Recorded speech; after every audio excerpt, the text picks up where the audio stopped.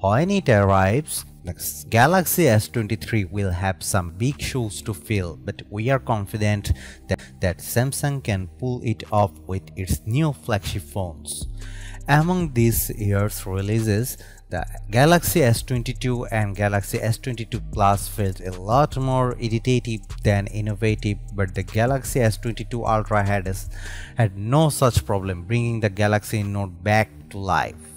Rumors about the Samsung Galaxy S23 are just starting to pick up but we wanted to share what's out there. So here's what we have heard about the Galaxy S23 so far.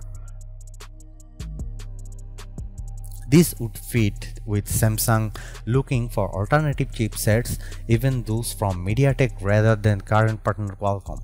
Obviously, none of these are 100% confirmation, but Samsung might still be interested in improving its Exynos brand. We'd welcome this considering that the Exynos 2200 failed to meet our expectations, lagging behind the Snapdragon, Snapdragon 8 Gen 1 in our Galaxy S22 Plus benchmark tests.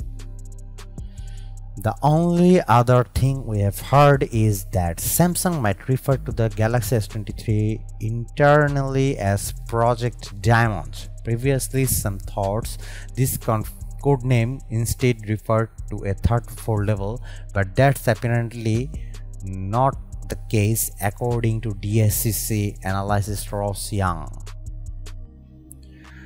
There's a long time for Samsung to finalize some Galaxy S23 details, so here's what we are hoping to see.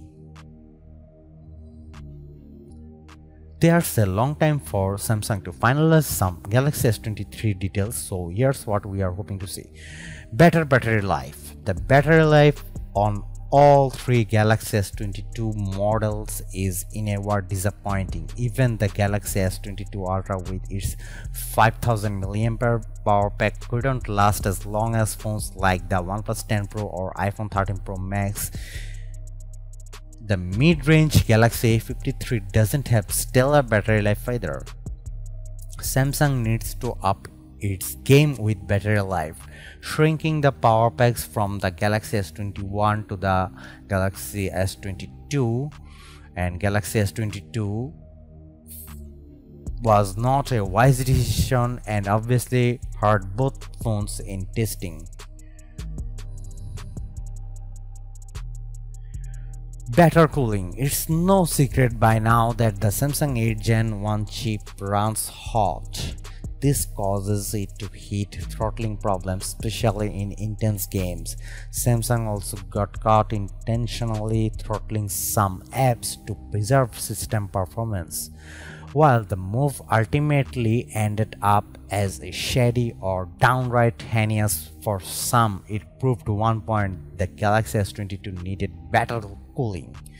The OnePlus 10 Pro features a new cooling system that makes the phone noticeably more comfortable after long gaming sessions than the Galaxy S22 Ultra. In my experience, we are not asking for something on the level of the best gaming phones, but the S22 can get really hot. We want to see the Galaxy S23 fix this.